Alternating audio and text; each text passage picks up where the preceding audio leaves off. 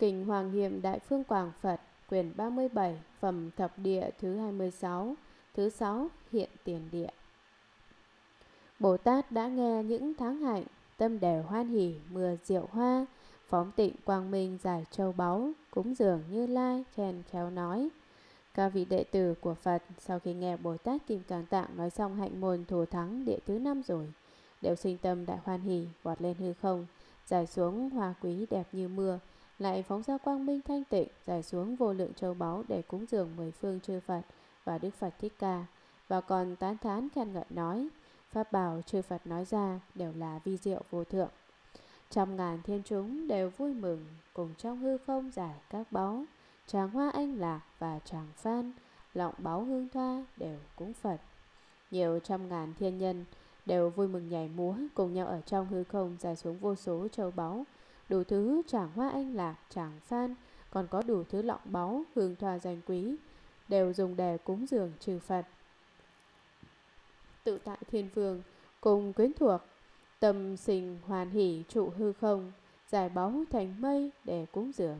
Khen nói Phật tử, khéo diễn nói. Đại tự tại thiên vương cùng với quyến thuộc rất hoan hỷ, cùng nhau ở trong hư không, giải xuống vô lượng châu báu, hình thành giống như vầng mây dùng để cúng dường Đức Phật. Đồng thời đều lớn tiếng khen ngợi thỉnh cầu Bồ Tát Kim Cang Tạng nói, Đại đệ tử của Phật, xin Ngài hãy màu tiếp tục nói, Vô lượng thiên nữ trụ trong không, đều dùng âm nhạc ca khen Phật, Trong tiếng hát đều nói như vậy, Lạy Phật hay trừ bệnh phiền não Vô số thiên nữ đều ở trong hư không Cùng nhau tấu lên nhạc trời rất hay Ca sướng tán thán khen ngợi công đức của Phật Ý nghĩa ca sướng đều nói như vậy Lời dạy của Đức Phật, lời lẽ như hòa, nghe rồi có thể khiến cho tiêu trừ 8 vạn 4 ngàn phiền não và bệnh tật mà đắc được mát mẻ. Pháp tánh vốn lặng không hình tướng, giống như hư không chẳng phân biệt, vừa cao chấp lấy bạt lời lẽ, chân thật bình đẳng thường thanh tịnh. Các pháp không tự sinh cũng chẳng từ tha sinh, chẳng cùng chẳng không sinh, cho nên nói không sinh, chư pháp bất tự sanh, diệt bất tùng tha sanh, bất cộng bất vô sanh, thị cố thuyết vô sanh. Bản tánh của Pháp là vắng lặng bất động, dụng của Pháp là cảm mà toại thông, nó không hình không tướng, cho nên phải quét tất cả Pháp lìa tất cả tướng.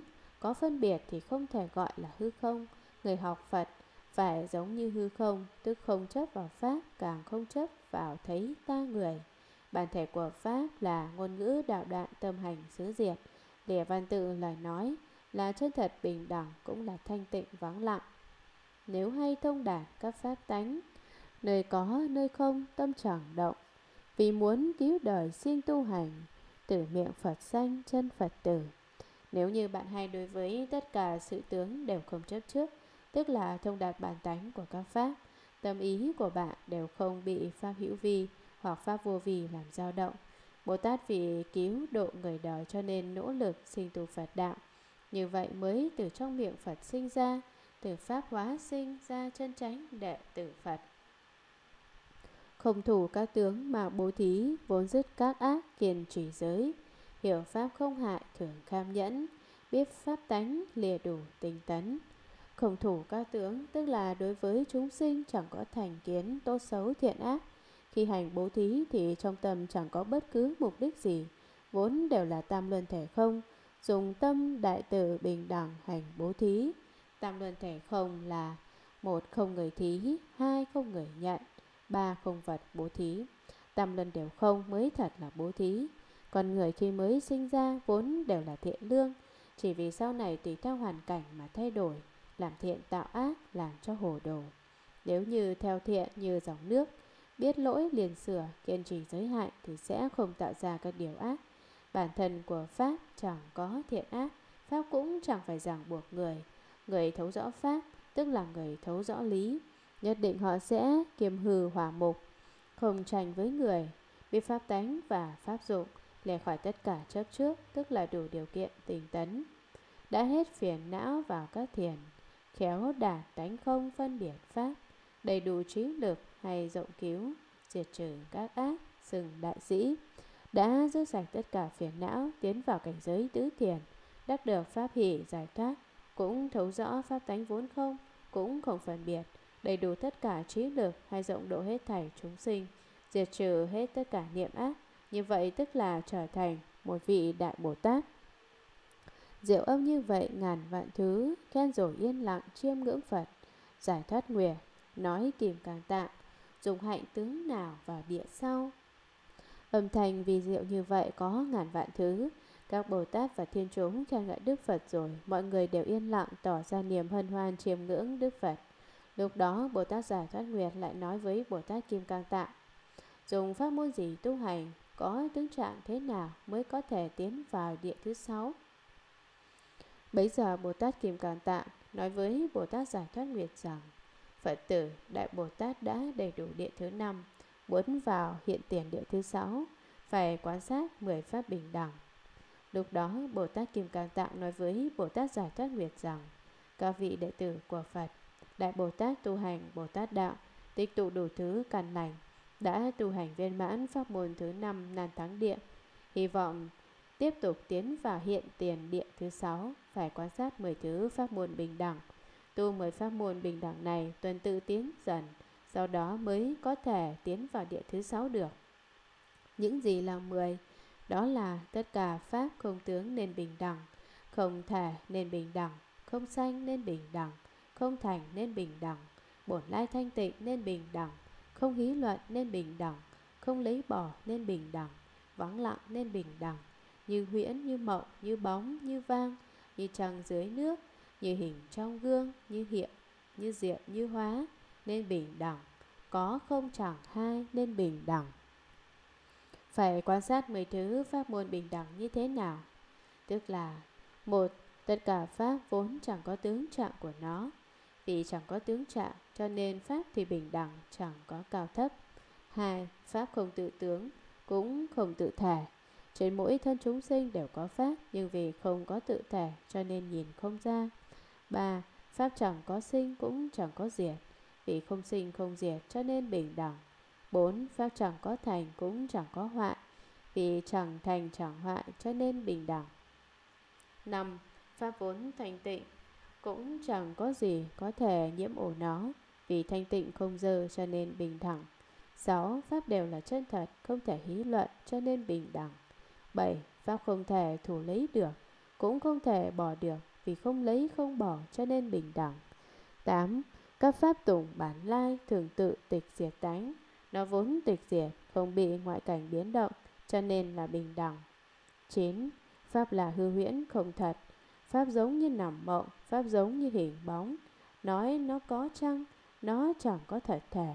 Nói nó chẳng có chăng, nó lại có hình bóng. Pháp giống như tiếng vàng, chỉ có thể nghe được âm thanh, nhưng nhìn không thấy hình tướng. Muốn cầm lên nhìn xem cũng không thể được.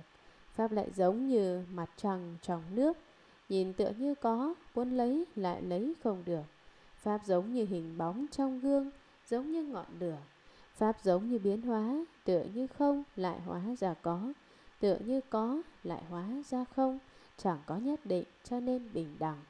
10. Có tức là có, có mà chẳng có, không tức là không, không mà chẳng không, tức có tức không, tức không tức có, có không chẳng hai, cho nên cũng là bình đẳng. Bồ Tát quán tất cả pháp như vậy, tự tánh thanh tịnh, tùy thuận không trái. Được nhập vào địa thứ sáu hiện tiền địa, đắc được tùy thuận nhẫn mình lợi, chưa đắc được vô sinh pháp nhẫn.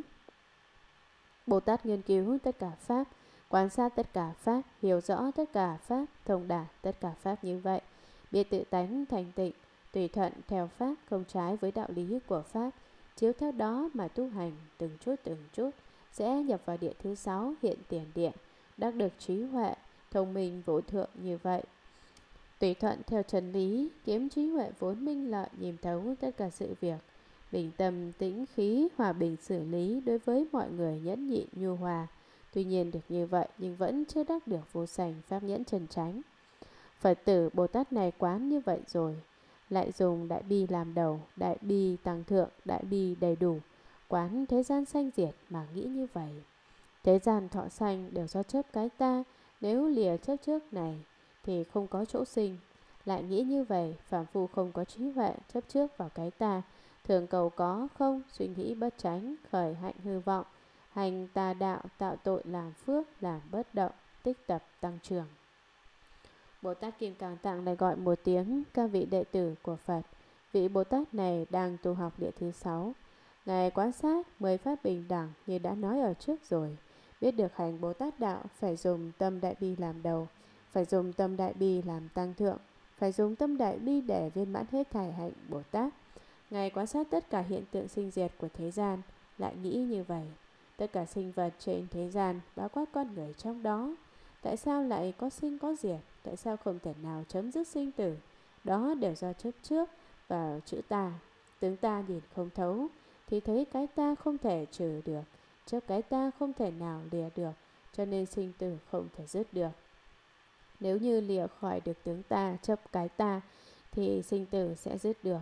Bồ Tát lại nghĩ như vậy, vì phàm phu chẳng có trí huệ, điên đảo ngu si cho nên chấp vào cái ta, do chấp trước mà sinh ra cống cảo ngã mạn, luôn luôn dùng công phu trên pháp hữu vi, pháp vô vi, không sinh tư tưởng tranh đáng, dùng vô minh làm nhân, cứ sinh ra tả tri tả kiến, làm những việc ác hư vọng, ba nghiệp chẳng thành tịnh, bằng môn tả đạo, thần đầy tội ác, nhưng có lúc lại làm chút căn lành công đức, do đó mà tội nghiệp thiện, nghiệp sen